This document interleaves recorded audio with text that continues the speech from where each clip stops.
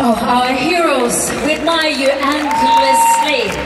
So let's introduce these couples once again, properly. Couple number six.